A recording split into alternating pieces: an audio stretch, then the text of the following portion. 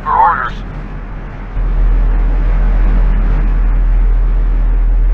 Under fire. Threat neutralized.